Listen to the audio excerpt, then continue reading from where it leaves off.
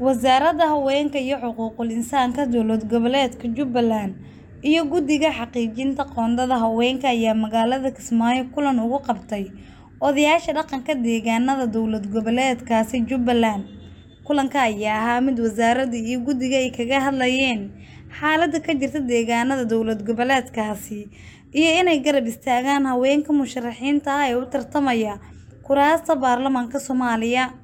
Qaar ka mid ah odayaashii kulanka qaybta ka ahaa ayaa sheegay in dumarka doonaya inay helaan awood dhammaystiran ay garab istaagi doonaan.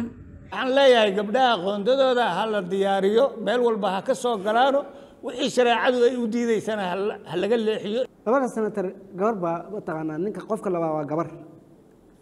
Hadde dadka intii ka badneed qabay qabay. Hadday laba u yihiin hadday saddex u yihiin hadday wax walba u yihiin waa joogaan dadka ugu yarna waa mataqaanaa meesha amaad adinka tihiin baan qabaa anigu. Qofkii labaad haddana gabar ka dhignay inaan raalli ka nahay baa idan tusaysaa. Laakiin celcelinteedaan arkaya raallihan laga ahayn raalliha naga noqday. Kuraasta dumarka aynu siinay waxaa weeye koo iyo toban xataa maamul goboleedyada kale maysan ka helin waxay jubbaland ka heleen. Hayo uu musharaxiinta ama xildhibaanada uu soo qorayo waxaa la rabaa inuu qiyaa laftiisa uu u qiimeeyo xuquuqda ay leedahay gabadha. Oo uu raggiisa raggiisa laftiisa uu wacyigeliyo.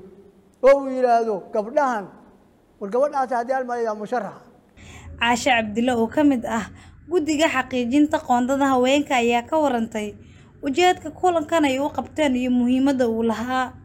salaadiintii ugaasyadii nabadoonnadii jubbaland oo ayagana aan maanta ka wada sheekaysanayno sidii aan u wada xaqiijin lahayn qoondada haweenka ee do- doorashada soo socota ee federaalka laba kun iyo kow iyo labaatanka. Marka waxaan rajaynayaa maanta inaan waqti fiican isla qaadanno isla meel dhigno ku heshiinno sidaan qoondadaas u xaqiijin lahayn oo baarlamaanka gabdhaha jubbaland aan u geyn lahayn boqolkiiba soddon ugu yaraan. Marka soo dhowaada Muna Cabdiraxmaan Xuseen warbaahinta City. waad ku mahadsan tahay daawashadaada? Inaad nagu soo biirto wax lacaga kaagama baxayso.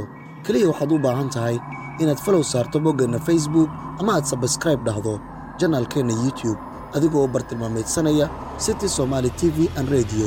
La jaanqaad warbaahinteenna oo hel warar iyo barnaamijyo adiga kaa hadlaya